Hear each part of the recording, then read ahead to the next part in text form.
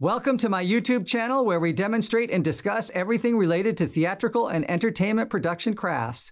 Please subscribe to get the latest updates, posts, and demonstrations. While I will focus primarily on safety in the shops and comprehensive training and operating procedures for tools and machinery, I'll also demonstrate and discuss practical applications like flat and platform construction, scene painting, and more.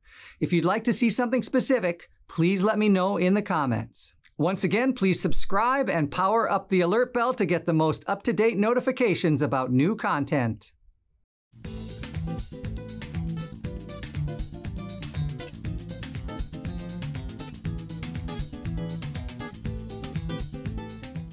You may want to use a bit adapter. These are designed to hold the bit and some of them have this other sliding sheath that allow you to hide the screw inside so you don't have to hold it with your fingers. You don't have to risk smashing your fingers. You don't have to risk getting your fingers cut up with the threads of the drill bit. This one has the shank that will fit the impact driver. So I'm going to use the impact driver for this one. I'm going to use a one and a quarter inch screw because if I use one and five eighths, it's going to go through my two pieces of wood and into my counter. And I don't want to ruin my counter. The screw goes in, is held in by the bit. You can slide this all the way to the forward, little tip pointing out. You put it exactly where you want it. The theory is that you push down and it stops. But I find that I don't know where the bit is and it's real easy to overdrive them and oversink them. So if you're using this adapter, you need to use it to get started on the screw.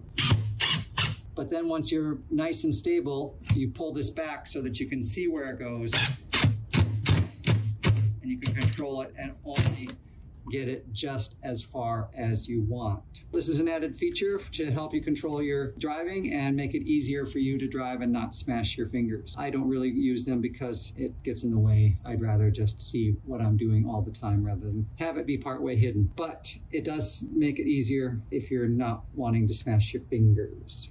We talked about the Torx head bit a little bit in our introduction. This is the Torx head bit. This is the T25. It, the Torx or the T25 has the six stars as opposed to the plus feature of the Phillips bit. And this is what a Phillips bit looks like and what a Torx bit looks like.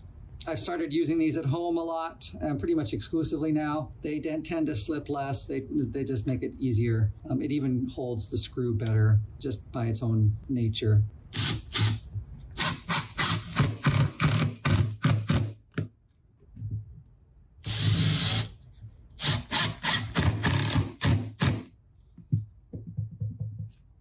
Torx bits.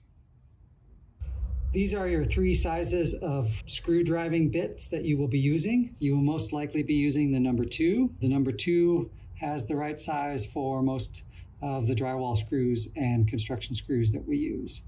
The number one has a tinier tip on it and is used for smaller screws with smaller heads that this won't fit into.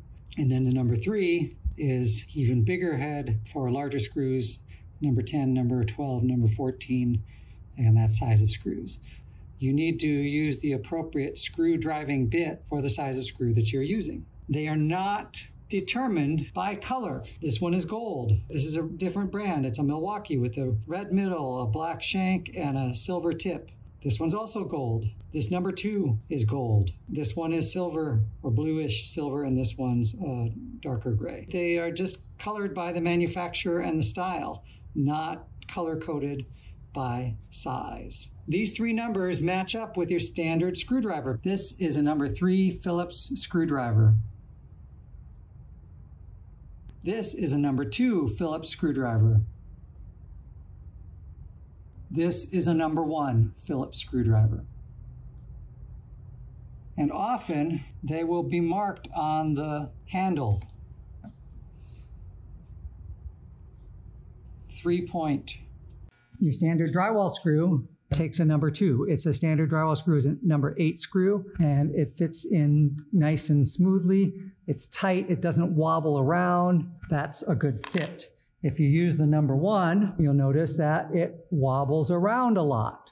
And because it wobbles around a lot, you're likely going to strip the screw or strip the bit. And you'll notice the number three doesn't fit in there at all. The number one bit is usually for size six screws, although this one feels like it might also fit a number two bit. Yes, it does. This number six screw is good for a number two. The number eight screw is good for number two.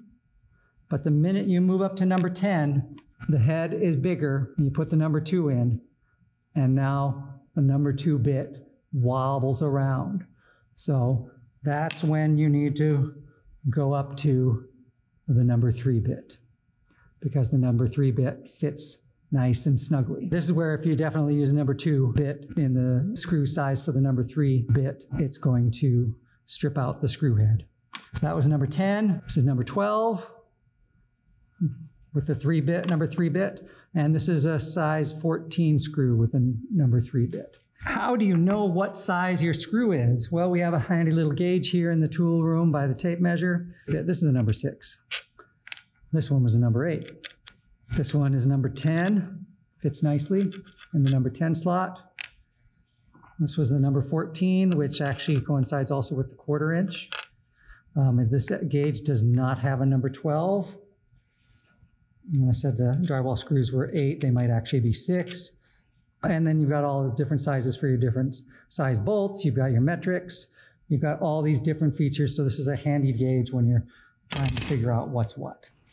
Please remember to like, comment, and subscribe, and I'll see you next time with more technical theater content.